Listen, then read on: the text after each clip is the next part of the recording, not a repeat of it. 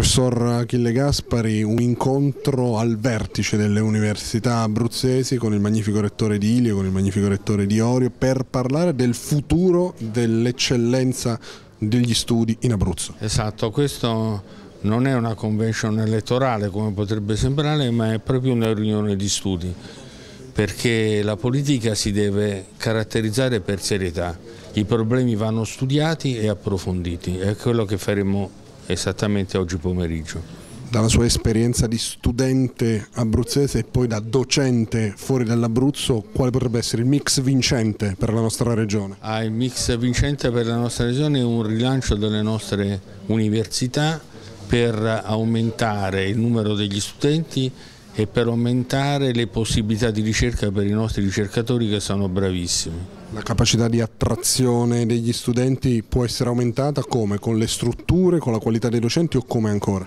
Esattamente tutte e due le cose che lei ha detto, migliorare sempre di più la qualità dell'insegnamento e rendere le strutture più efficienti.